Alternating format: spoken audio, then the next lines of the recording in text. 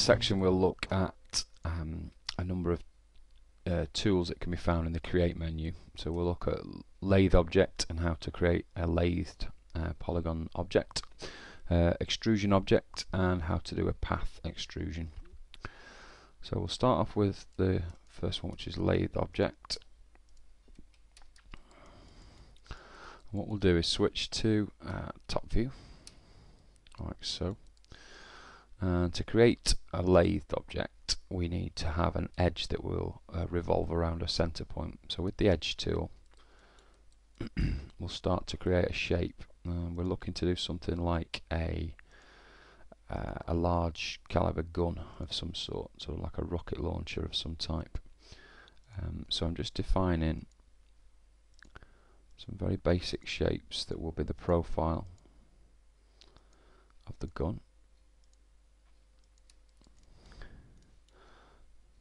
just moving around using the tools.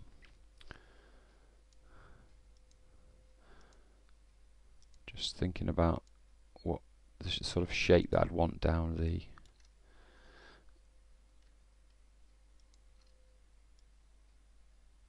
back end of the the weapon.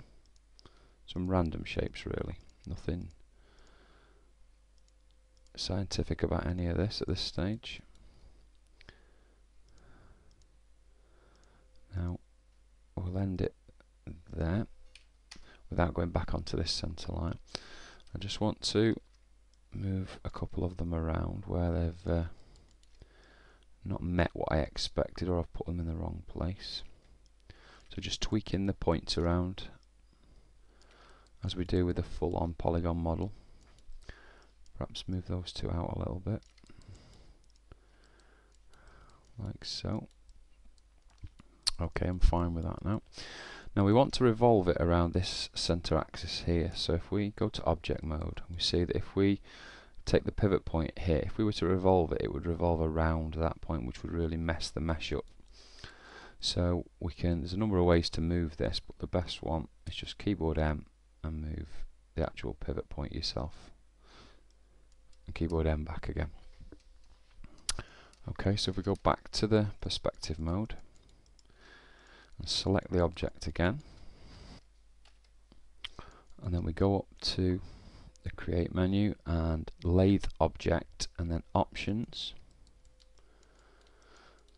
So we'll set the total sections that will revolve around to um, we'll go a bit higher than 12 so we'll go 16 360 degrees will give us a full revolved object a merge tolerance that will bring the two edges of the uh, revolved, uh, the lathed object together. We'll leave that one.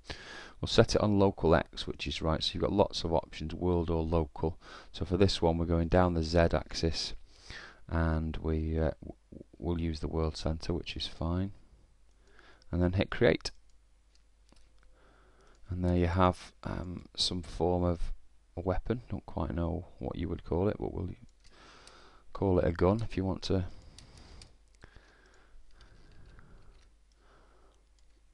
Duplicate it. There just using control C control V there. You can see we've made what a nice weapon of some description with very very simple steps. You've still got your um, edge there which you can save for later and you could obviously use that you could amend that edge if you wanted to change the shape of the gun or, or um, anything that you've created um, in terms of if you think the back end's too big then you just drag in these uh, points nearer to the center um, and adjust it as needed. You just subdivide the gun if you want to have a look at it smooth although it looks more like a, a stair handle when it's uh, stair staircase when it's smooth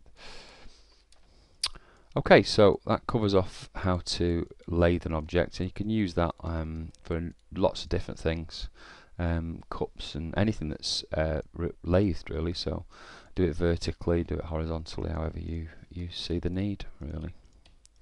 So we'll just remove all of those. Now we'll go on to uh, to extrude. Let's go back to top again, and we'll create. Um, we'll just create a polygon one that we can use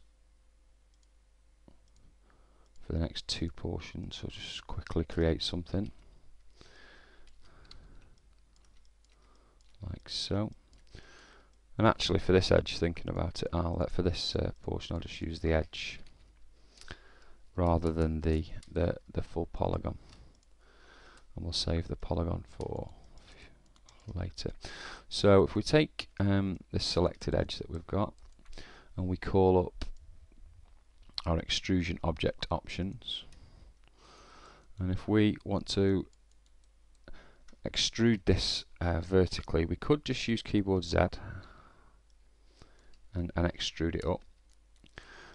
What we can do instead is to use um, the extrude options here. So if we set the height to say 6 sections to 15 we'll do it along world Y which is vertically into the world and hit create. And there you have those options transferred into a 3D model. So it's that polygon shape extruded the edge all the way up using 15 sections and a height of 6 which is 6 grids 6 grid squares okay. Not a tool I use personally a lot because um, I'm very comfortable with just using the uh, the extrude tool the normal Z extrude as you the, the one that um, you've seen is using a lot of the other videos okay let's just go back to where we were okay so the next one we're going to look at is um, shut down our options is, uh, is path extrusion object. So we've got an object which is the polygon we've been using um, and what we're going to do now is run a path that will extrude this along. So if we switch to the front view, I'm using spacebar there to switch through the the different screens and if we just go to create and we'll use the edge tool and we'll just create, we're going to create sort of a tentacle affair um, oh, lost it there. Just go back to that one. Just come around here and just do a curl in like so.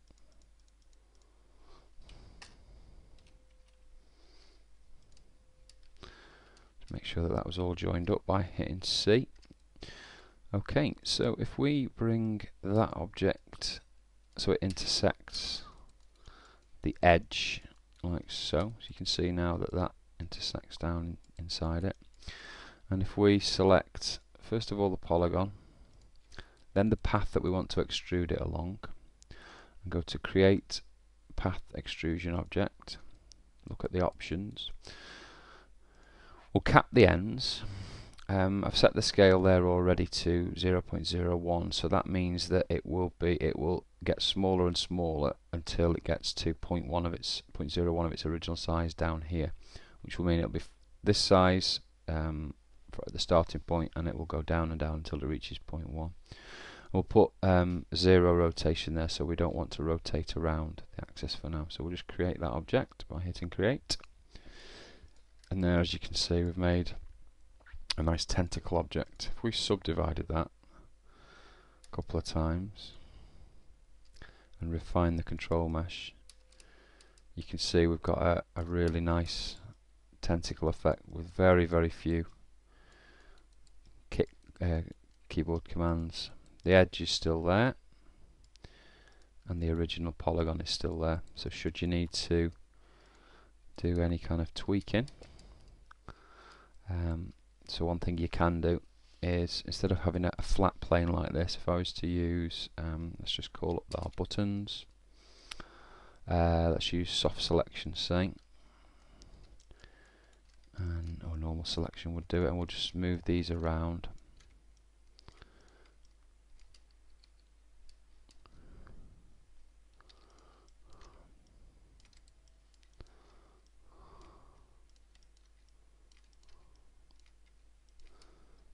Remove that again. Don't really need that. Just do it by hand.